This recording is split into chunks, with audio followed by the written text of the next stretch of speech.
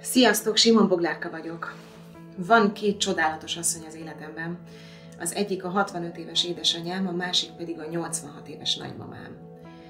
Eh, Rengeteg mindent tanultam meg tőlük, de talán amire a legbüszkébb vagyok az az, hogy megtanítottak engem sütni. Ez is a kedvenc időtöltésünk. Jeles eseményekkor, családi ünnepekkor összeszoktunk jönni hárman, és együtt készítjük el a finomabbnál finomabb édességeket. Biztosan nagyon sokáig így fogunk tenni, ha a vége a járványnak. De ameddig tart a járvány, addig nagyon fontos, hogy nekik mindenféleképpen otthon kell maradniuk. Így nem találkozunk, nem érintkezünk, csak telefonon beszélünk. Igyekszem elintézni a bevásárlásaikat is, mert én vigyázok az idősekre.